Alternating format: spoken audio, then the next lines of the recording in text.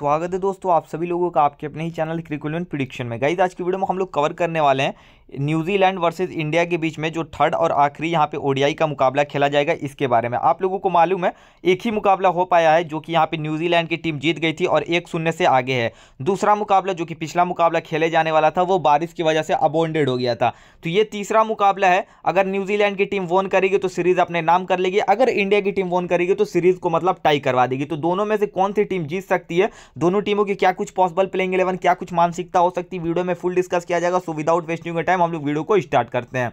देखो, अगर आप लोग टेलीग्राम चैनल पर नहीं हो तो आ जाना, जिसका कि लिंक वीडियो के कमेंट बॉक्स और डिस्क्रिप्शन में मैंने दे दिया है। अगर लिंक वर्क नहीं करता है तो क्रिक टू फाइव एट ज़ीरो इतना लिख कर सर्च करके आप लोग यहाँ पे आ सकते हो। ये मेरा सेकंड चैनल है, ठीक है? तो हो सकता है आपके आते आते ये सब्सक्राइबर घटबड़ भी सकते हैं, ज़्यादा मैटर नहीं करने वाला है। यहाँ पे आप लोग पहले तो ध्यान से आना, चार नवंबर छः जून का मैसेज पिंड किया हुआ होगा मैसेज को चेक कर लेना, क्योंकि काफ़ी ज़्यादा लोग हैं जो कि मेरे नाम से फेक चैनल वगैरह क्रिएट किए हुए हैं। और वहाँ पर वो फेक टीम और पेड टीम देते हैं और मैं कभी भी पेड टीम को प्रमोट नहीं करता हूँ। तो अगर आप लोग यहाँ पर नहीं हो तो अच्छे से आना, अच्छे से सर्च करके आ जाना, ठीक है?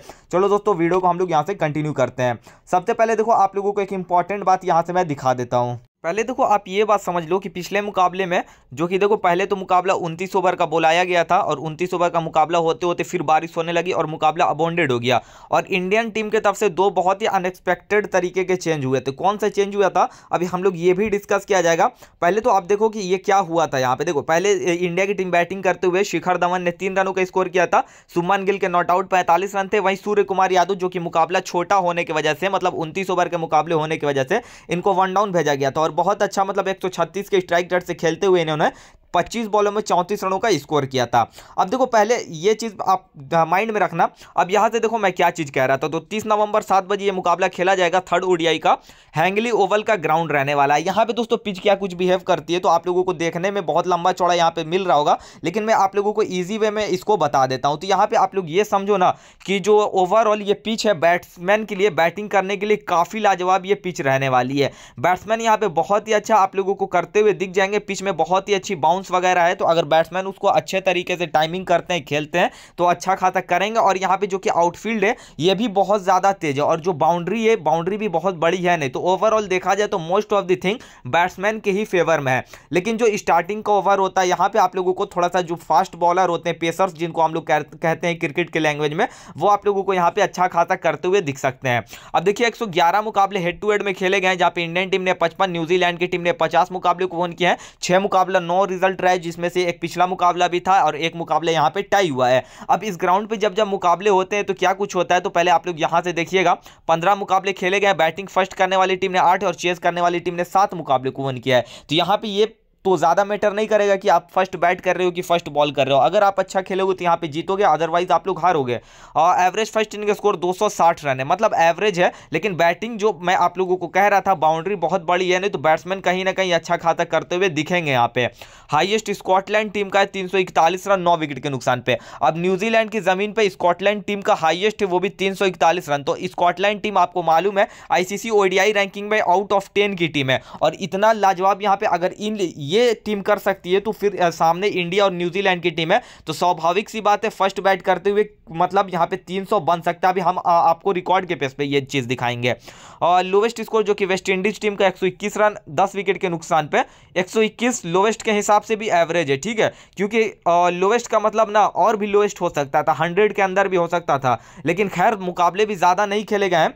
बाकी स्कोरिंग पैटर्न पर देखा जाए हम लोग तो दो से कम तीन बार स्कोर बनाए 200 से 250 के बीच में भी तीन ही बार स्कोर 250 से 300 के बीच में भी तीन ही बार स्कोर बनाया बाकी 300 से ज़्यादा यहाँ पे छह बार स्कोर बनाया अब देखो, सबसे ज़्यादा जो स्कोर बनाए वो बना है तीन से ज़्यादा। और कहीं ना कहीं अगर सौ ओवर का मुकाबला होता है, अब सौ ओवर का मतलब पचास पचास दोनों ओवर से अगर मुकाबला होता है और इसमें कोई भी अगर मुकाबले में आप लोगों को बांधा नहीं आता है तो निश्चित तौर पर जो टीम यहाँ पे फ़र्स्ट बैट करेगी, आप लोगों को तीन का आंकड़ा बोर्ड पर लगाती हुई दिख सकती है। रिसेंट में इस ग्राउंड पे कुछ मुकाबले खेले गए हैं। इसके रिकॉर्ड के बेस पे हम लोग जानते हैं यहाँ पे क्या कुछ होता है। बांग्लादेश न्यूजीलैंड का मुकाबला था जहाँ पे बांग्लादेश की टीम फ़र्स्ट बैट करते हुए 241 रन, छह विकेट के नुकसान पे बनाई थी। जवाब में न्यूजीलैंड की टीम ने इसको चेज कर लिया था 275 रन, पाँच विकेट के नुकसान पे बना लिया था और पाँच विकेट हाथ में रहते इस मुकाबले को जीत लेती है। एक और मुकाबला सोलह फरवरी दो को खेला गया था, जहाँ पे बांग्लादेश न्यूजीलैंड की ही टीम का यह मुकाबला था। बांग्लादेश की टीम दो सौ छब्बीस रन बना के पूरी टीम ऑल आउट हो गई थी। जवाब में न्यूजीलैंड की टीम दो सौ उनतीस रन, दो विकेट के नुकसान पे बना के अभी आठ विकेट हाथ में रहते इस मुकाबले को चेज कर लेती है।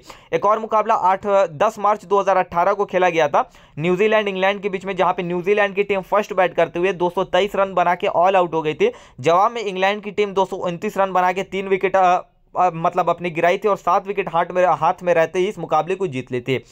ओवरऑल आप लोग ये पहले देखो, यहाँ पे जो लास्ट के तीन मुकाबले हुए हैं ना, यहाँ पे सारे ही मुकाबले, तीनों मुकाबले यहाँ पे चेज करने वाली ही टीम ने वोन किया है। तो थोड़ा सा देखिएगा तो चेजिंग करने वाली टीम को एडवांटेज मान के चल सकते हो, लेकिन यहाँ पे देखिएगा तो ये इक्वल बता रहा है, लेकिन आखिरी के तीन मुकाबले चेजिंग करने वाली टीम को ज़्यादा सपोर्ट मिला है।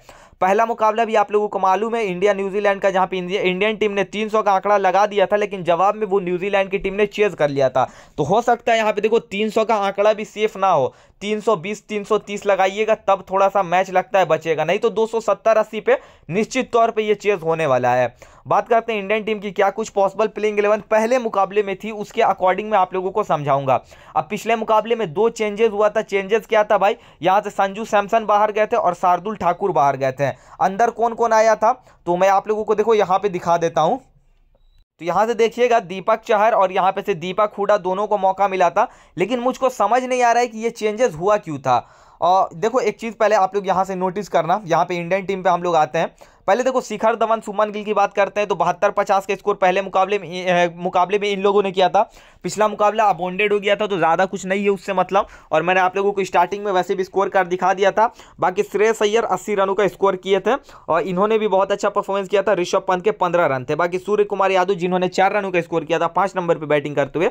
लेकिन देखो, अगर पचास ओवर का मुकाबला होगा तो ये आप लोगों को चार से पाँच ही नंबर पर बैटिंग करेंगे। लेकिन फिर से अगर बारिश होती है लेकिन जैसे कि मैं बोल रहा हूँ, अगर फिर से बारिश होता है मैच अगर तीस ओवर, पैंतीस ओवर का होता है तो हो सकता है आपको सूर्या यहाँ पे वन डाउन खेलते हुए दिख सकते हैं।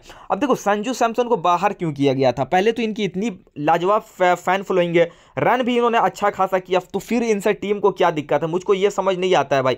मुझको इस खिलाड़ी के लिए बहुत बुरा लगता है, दो हज़ार चौदह से ये बंदा खेलता है। अगर क्रिकेट में भी यही हो रहा है निपोटिज्म हो रहा है, या फिर कुछ चेहरे पहचान का अगर पहचान कर अगर खिलाड़ियों को मौका दिया जा रहा है तो फिर इंडियन टीम या फिर कोई किसी भी क्रिकेट टीम को बहुत दिक्कत हो सकता है। जैसे कि बाइकआउट बॉलीवुड हो रहा है, फिर बाइकआउट क्रिकेट भी हो सकता है। तो इस वजह से ऐसा आप लोग ना करिए भाई अच्छा खिलाड़ी इसको मौका दिया जाए, इसको बाहर क्यों बैठा दिया गया था, क्या गलती थी? छत्तीस रनों का स्कोर इन्होंने किया ही था। बाकी वाशिंगटन सुंदर की बात करते हैं। अगर देखो बाहर भेजना था, तब तो उस हिसाब से ऋषभ पंत को भी बाहर जाना था यहाँ से सूर्य कुमार यादव को भी बाहर जाना चाहिए था, फिर अर्षदीप और यूजी को भी बाहर जाना चाहिए था, लेकिन आपने संजू सैमसन को ही बाहर क्यों किया? तो यह देखिए, टीम मैनेजमेंट थोड़ा सा इनके खिलाफ लग रहा है, लेकिन कहीं ना कहीं बहुत अच्छे खिलाड़ी आई थिंक इनको टीम में मौका देना चाहिए। सुंदर सैंतीस रन प्लस बॉलिंग से इनको विकेट नहीं मिला था। शार्दुल ठाकुर के एक विकेट थे, बाहर ये भी गए थे, लेकिन I think same playing eleven पहले मुकाबले की प्लेइंग इलेवन खिलाइए भाई। और उमरान मलिक की बात करते हैं, दो विकेट इनको मिला था अर्षदीप और यहाँ से यूजी चहल को कोई भी विकेट नहीं मिला था। अब देखो, इनके तरफ़ से open death bowler Indian team के तरफ़ से हम लोग जरा चेक कर लेते हैं। तो अर्षदीप सिंह के साथ शार्दुल ठाकुर में ठाकुर को ओपनिंग में मान सकते हो। डेथ में अर्षदीप सिंह, शार्दुल ठाकुर, उमरान मलिक को आप लोग मान के चल सकते हो। अब खिलाड़ी जो कि अच्छी खासी ओवर करते हुए दिख सकते हैं यहाँ से देखो, ज़्यादा बॉलर यूज़ नहीं करते, ये प्रॉपर पाँच ही बॉलर हैं जो आप लोग यहाँ से नाम देख सकते हो। युजवेंद्र चहल, उमरान मलिक वाशिंगटन सुंदर, शार्दुल ठाकुर अर्षदीप सिंह, आप लोगों को दस दस ओवर कंप्लीट करते हुए दिख सकते हैं। अगर पहले मुकाबले की प्लेइंग इलेवन रहती है तो ठीक है? नहीं तो अगर देखो, शार्दुल ठाकुर बाहर गए थे तो इनके जगह पे दीपक चहर आए थे तो दीपक चहर खेलेंगे अगेन तो वो भी बॉलिंग कर सकते हैं। बाकी दीपक हुडा आए थे तो दीपक हुडा अगर खेल लेते हैं तो पार्ट टाइम बॉलिंग वो कर सकते हैं। लेकिन आई थिंक पहले मुकाबले की प्लेइंग इलेवन खिलानी चाहिए। बात करते हैं न्यूजीलैंड की पॉसिबल प्लेइंग एलेवन क्या हो सकती है? विथ रिसेंट स्कोर कार्ड इन लोगों की टीम में कोई भी मतलब आई थिंक चेंज नहीं हुआ था। या एक चेंज हुआ था, मैं आप लोगों को बताता हूँ क्या चेंज था वो। वो दोस्तों चेंज ये था एडम मिलने बाहर गए थे और मिचिल ब्रेसवल अंदर आए थे। तो यहाँ पे हो सकता है फिर से मिलने बाहर जाए और ब्रेसवेल अंदर आ सकते हैं। इनके तरफ़ से हम लोगों को दिक्कत नहीं, मेरे, देखो, मुझे जो सबसे बुरा लगता है, वो लगता है यहाँ से संजू सैमसन के लिए। और किसी भी क्रिकेट लवर क्रिकेट प्रेमी से पूछेगा तो वो आपको यही बोलेगा। और आप भी अगर क्रिकेट फॉलो करते हो तो आपको भी ये चीज़ समझना चाहिए। इस बंदे को कभी मौका नहीं देती है टीम। एशिया कप में भी मौका नहीं मिला, वर्ल्ड कप में भी मौका नहीं मिला। सीरीज़ खिला रहे हो, आप सीरीज़ में भी मौका नहीं दे रहे हो। यहाँ से देखो, बात करते हैं न्यूजीलैंड की तरफ़ से तो फिनालैंड के साथ डीवन कॉनवे ओपनिंग करते हुए दिख जाएँगे। बाईस चौबीस का स्कोर इन दोनों ने किया था। बाकी केन विलियमसन ने लाजवाब चौरानवे रनों को स्कोर किया था। डैरी मिचल के ग्यारह रन थे। वहीं टॉम लेथम यहाँ पे पाँच नंबर पे खेलते हुए अपने करियर की सबसे बेस्ट इनिंग इन्होंने एक सौ पैंतालीस रनों की पारी खेली थी। और अगेंस्ट इंडिया इनका रिकॉर्ड भी बहुत अच्छा है। ग्लेन फिलिप्स की बात करते हैं, बैटिंग नहीं आई थी, मिचिल सैंडर इनको बॉलिंग से विकेट नहीं मिला था, एडम मिलने को एक विकेट मिला था।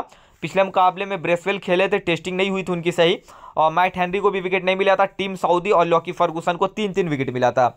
इनके तरफ़ से ओपन डेथ बॉलर देखिएगा तो आप लोग टीम सऊदी मैट हेनरी को मान सकते हो, डेथ में लॉकी फर्गूसन टीम सऊदी को मान सकते हो। बॉलिंग इनको इन्फॉर्मेशन इनके तरफ़ से भी टॉप फाइव ही बॉलर है, जो कि Tim Southee Matt Henry, Lockie Ferguson, Mitchell Santner Adam Milne ठीक है?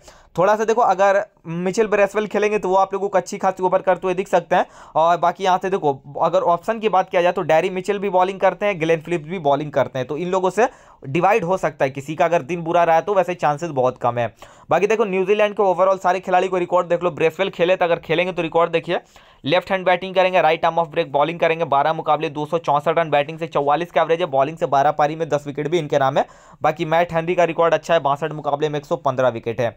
देख लेना ओवरऑल जितने खिलाड़ी हैं। इंडियन टीम की तरफ़ से भी ओवरऑल जितने खिलाड़ी हैं रिकॉर्ड देख लेना। अगर दीपक चार खेल लेते हैं राइट आर्म मीडियम बॉलिंग करेंगे, नौ मुकाबले में पंद्रह विकेट इनके नाम है। बाकी दीपक हुडा का देख लीजिए, राइट हैंड बैटिंग करेंगे, right arm off break bowling करेंगे, आठ मुकाबले, एक सौ इकतालीस रन बैटिंग से अट्ठाईस का एवरेज है, बॉलिंग से छह पारी में तीन विकेट भी इनके नाम है।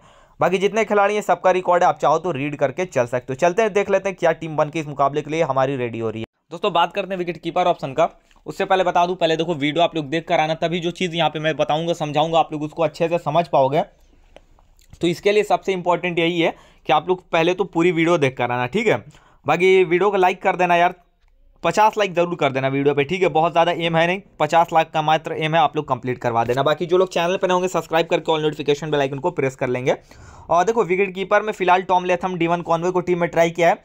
संजू सैमसन खेलेंगे तो हो सकता है मैं अपनी टीम में इनको भी बैक करके चल सकता हूँ। बहुत अच्छे खिलाड़ी आई थिंक इनको खिलाना चाहिए। कोई गलती नहीं, इस खिलाड़ी का खिलाइए आप लोग। बात करते हैं बैटिंग सेक्शन से। केन विलियमसन सूर्य कुमार यादव सुमन गिल और श्रेयस अय्यर को टीम में फ़िलहाल मैंने ट्राई किया है। ऑप्शन की बात किया जाए तो ग्लेन शिखर धवन का ऑप्शन है। फिन एलन को आप ज़रूर सीबीसी यहाँ तक बोलूँगा, आप लोग अपनी ग्रांड लीग की टीम में तो ज़रूर ट्राई करना, बिकॉज़ इनका एक होम ग्राउंड रहने वाला है तो काफ़ी एक्सपीरियंस इस खिलाड़ी के पास रहने वाला है। बात करते हैं ऑलराउंडर सेक्शन से तो फ़िलहाल मैंने मिकल ब्रेसवेल को ही टीम में ट्राई किया है। अगर ठाकुर खेलेंगे तो टीम में ये जगह बना सकते हैं। बाकी सुंदर को भी आप चाहो तो ट्राई कर सकते हो, ठीक है? ब्रेसवेल मुझको ज़्यादा बेस्ट लग रहे हैं तो इस वजह से मैंने टीम में ट्राई किया है। हुडा ज़्यादा ओवर नहीं करते हैं तो एज अ बैट्समैन ही अपने टीम में मान के चल सकते हो। सैडनर को चाहो तो ले सकते हो। बात करते हैं बॉलिंग सेक्शन से Tim Southee Lockie Ferguson Arshdeep Singh और माइट हैंडी को टीम में ट्राई किया है। और अगर इंडिया की टीम फ़र्स्ट बॉल करेगी तो उमरान मलिक मेरे टीम में जगह बना सकते हैं। और वहीं देखो सेकेंड बॉल करते हुए यूजी चहल को भी आप अपने टीम में ट्राई करके चल सकते हो। बाकी बात करते हैं, देखो कैप्टन वाइस कैप्टन की तो फ़िलहाल कैप्टन मेरे सूर्य कुमार यादव रहने वाले हैं, जो कि आपको चार से पाँच नंबर पर बैटिंग करके दे सकते हैं। या तो अगर टीम चाहे तो ये वन डाउन भी खेल सकते हैं। वीसी के तौर पर डीवन कॉन्वे के साथ मैं जा रहा हूँ। ऑप्शन की बात किया जाए तो केन विलियमसन का बेस्ट में ऑप्शन आप लोगों को देखने को मिलेगा। बाकी सुमन गिल, जो कि पिछले दोनों मुकाबले में अच्छा खासा पॉइंट दे दिए थे, अगर मैच अबॉन्डेड नहीं होता तो इसमें भी ठीक ठाक ही पॉइंट था। तो आप चाहो तो इनको भी अपना सीवीसी बना के देख सकते हो। तो फ़िलहाल कुछ इस प्रकार की टीम बन के रेडी हो रही है। जहाँ पे देखिएगा तो कैप्टन मेरे यहाँ से आप लोगों को सूर्य कुमार यादव देखने को मिलेंगे। वाइस कैप्टन डीवन कॉन्वे है। हो सकता है यहाँ से मेरी टीम में आपको चेंजेस दिखे। मैं संजू सैमसन को बैक कर सकता हूँ। और बॉलिंग करेगी अगर इंडिया की टीम तो फिर उमरान मलिक भी मेरी टीम में जगह बना सकते हैं। तो इसके लिए आप लोग टेलीग्राम पर आना। Final team updated team guidance team आप लोगों को यहीं पे बताता हूँ। देखो सेकंड चैनल है तो होगा आपके आते आते ये घट भी बढ़ भी सकते हैं। ये सब मैटर नहीं करेगा। आप लोग आओ यहाँ पे स्किल्स का अंदाज़ा सब्सक्राइबर देखकर मत लगाना। चार नवंबर छः जून का मैसेज होगा। एक बार चेक करके ज़रूर ज्वाइन हो जाना। तो मिलते हैं एक और अच्छी वीडियो के साथ। वीडियो को आप लोग लाइक कर ही दिए होंगे। चैनल को सब्सक्राइब करके और नोटिफिकेशन बेल आइकन को प्रेस कर लीजिएगा। तब तक के लिए गुड बाय।